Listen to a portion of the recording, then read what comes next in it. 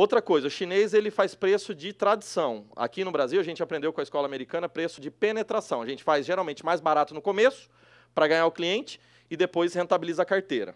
Preço de feira, desconto de lançamento, essas paradas. O chinês não, o chinês é dinheiro na mesa antes. É o famoso guanxi, né? Primeiro entender quem que é você, tarará. Vamos fazer negócio. Porque, ó, falar até papagaio fala, a gente fala no Brasil, né? Então é o seguinte, vamos por aqui, faz um pedido, bota dinheiro, paga certinho, paga em dia. Por quê? Você está avaliando ele, ele também está te avaliando, se ele tem um bom produto, né? Rolou, você foi um bom cliente, tudo, beleza? Vai de novo, tranquilo, né? Pediu, depois você naturalmente vai aumentando a quantidade e tem, tem uma tendência, mesmo de não aumentar tanto a quantidade, você conseguir algum preço melhor, por conta do tradição da negociação, que ele chama de guanxi, tá? Então, isso é uma, uma parada mais oriental. Tá?